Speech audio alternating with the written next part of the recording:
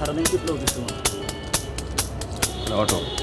এই যেমন আমার হাতে যে সিক্স ফাইভটা আছে রাইট পিস্তলটা এটা আপনি নর্মালি সত্তর পঁচাত্তর হাজার টাকা দিয়ে কিনতে পারবেন যে দুইটা ইন্টি কিন্তু এই রিভলভার পিস্তলের মধ্যে অনেক ক্যাটাগরি আছে যেমন Petra Brada Wilson and Smith সাত নয় রাউন্ডের একটা ব্রাশ সাত সেকেন্ডে পুরো ম্যাগজিন খালি হয়ে যাবে একবার টান দিয়া ট্রিগার ধরে রাখে।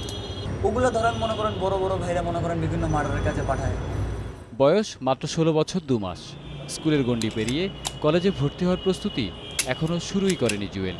অষ্টম শ্রেণি থেকেই নিয়মিত আড্ডা আর ধীরে ধীরে অপরাধে ঝুঁকে যাওয়া। মিসফায়ার করেন না সমস্যা হয়। এটা দিয়ে মানুষ মরে আসলে। লাগলে গুলি বের করলে তো আপনার গুলি বের হলে জায়গা মতো লাগলে মরে অনেক সময় অনেকেই বেঁচে যায়। যেমন আমাদের এখানকার বিএনপির অনেক বড় এক নেতা মুক্তি হয়েও সে বেঁচে গেছে। বুকের মধ্যে আর মাথার মধ্যে লাগলে সে মরতে বাধ্য।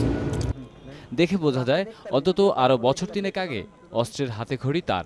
কথা বলে জানা গেল, এ বয়সেই অপরাধ জগতে ভয়ানক থাবায় রয়েছে জুয়েল, যেখানে নিজের নিরাপত্তার জন্য অস্ত্র বহন করে সার্বক্ষণিক।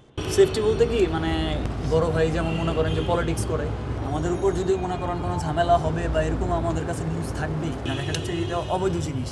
কারও গায়ে আমরা গুলি করতে পারি না, কেউ আসলো, হইচই, আমরা জাস্ট একটা ফাঁকায় ফায়ার ফায়ার করে দিলাম। রাজধানীর মগবাজারে এক সম্ভ্রান্ত পরিবারের ছেলে বাবা পেশায় ব্যবসায়ী আর মা চাকুরিজীবী। এ দুটি অবৈধ অস্ত্রই কিশোর জুয়েলের সঙ্গী। থ্রি টু রিভলভার রক্ষণাবেক্ষণ ও ব্যবহার বর্ণনা গচ্ছিত তার শব্দগুচ্ছে ওইটা কি রিভলভার? এটা হচ্ছে আপনার স্টার কোম্পানি যেটা। এটা মিনিমাম তিন লাখ সাড়ে তিন লাখ। তিন লাখ এই অবস্থায়? পুরোনো না? সেকেন্ড হ্যান্ড এগুলো পাবেন না। এই গুলিগুলোর দাম কত? এগুলোর দাম পনেরোশো থেকে দুই হাজার টাকা।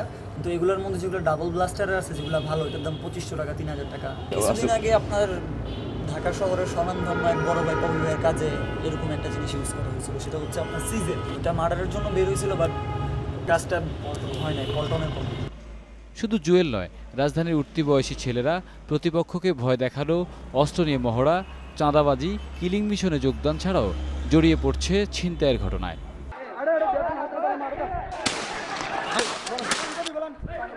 আশেপাশে চাঁদাবাজি রাজনীতি এসব করে আসতেছে এবং তাদের কথাই আর কি ওই জায়গায় ব্যবসা তাদের সাথে হাত না রেখে ওই জায়গায় ব্যবসা বাণিজ্য করে যারা চলতে পারতেছে না। তালিকাভুক্ত সন্ত্রাসীরা নিজেদের দল ভারী করতেই কাছে টানে পাড়া মহল্লার কিশোর বা উঠতি বয়সী ছেলেদের। সবাই ভয় পায়। এটা তো বোঝাই যায় যে উপর মহল থেকে যদি ও ওরকম ভাবে ও ওরকম পরিমাণে কোনো শেল্টার না পায় তাহলে কিছু না জেনেই অনেকটা ফ্যান্টাসির খোঁজে অপরাধ জগতে পদার্পণ কিশোর বয়সী ছেলেদের। কিন্তু তাদের ছত্রছায়া নিতে আপত্তি করে না ওইসব বড় ভাই যারা একসময় তাদের দিয়ে সব পরিচালনা করে সিংহভাগ অবৈধ আয় নিজের পকেটে জমা করেন। তহিদ মিথুন যমুনা নিউজ ঢাকা।